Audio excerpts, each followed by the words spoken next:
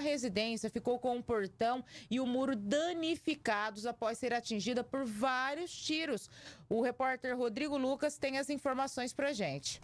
A ocorrência aconteceu nesse bairro onde nós estamos, no Jardim das Oliveiras, na madrugada de terça-feira. De acordo com a informação da vítima, ela estava no interior desta residência quando ela ouviu o barulho de disparos de arma de fogo. Quando ela saiu para verificar, ela olhou e no portão havia as marcas dos tiros quatro tiros que atingiram o portão dessa residência, também atingiram o muro e dois deles acabaram atingindo um veículo que estava no interior desta casa. A moradora desta residência disse que por pouco não foi atingida pelos disparos de arma de fogo. Ela contou à equipe da Polícia Militar que veio até o local que há uma suspeita de quem possa ter cometido esse ato, possa ter dado os tiros aqui nessa residência. A nossa equipe tentou contato com a proprietária dessa residência, mas nós não conseguimos falar com ela. Agora a polícia está investigando o fato e tenta encontrar o possível suspeito ou os suspeitos de terem praticado esse ato aqui nesse bairro.